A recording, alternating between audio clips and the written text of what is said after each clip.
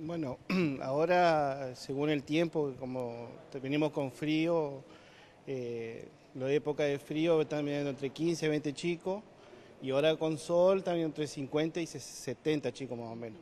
Son bastantes que vienen a comer. ¿Para hoy qué le están preparando? Y bueno, hoy estamos de estofado de pollo con fideo casero. Eh, más que decir una comida caliente por el tema del frío, tratamos más que sea más calentita la comida, ¿no? Y para que el, calentar el cuerpito del chico, que más que nada. Tenemos maternal hasta secundaria, así que atendemos a todos los chicos.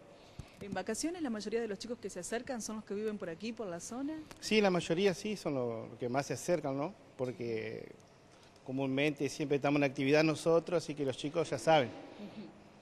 Manuel, de todos modos hay una cantidad de cocineros reducido en cuanto al número, ¿no? Sí, ahora estamos dos turnos, la primera semana fue la semana pasada y ahora esta semana.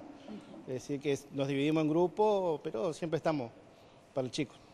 Una vez que se retoman las clases, ¿cuántos chicos almuerzan? Y entre 700 y 800 chicos. Son muchos porque, o sea, vienen más de todos lados, es normal, ¿no es cierto? ¿Cuánto es la partida por cada chico?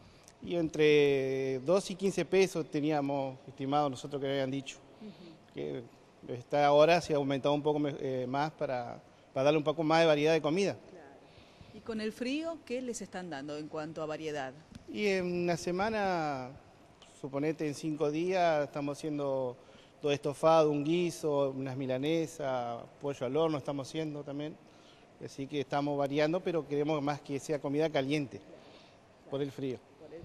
Acompaña a una nutricionista, es así, ¿no? Sí, sí. Eh, Daniela Ramírez está con nosotros, acompañándonos y haciendo un grupo para que salga buena la comida y ponernos de acuerdo todos, ¿no es cierto? ¿Hay copa de leche? Eh, sí, es normal, eh, merienda, así que tienen su desayuno, almuerzo y merienda, los chicos. Todo completo.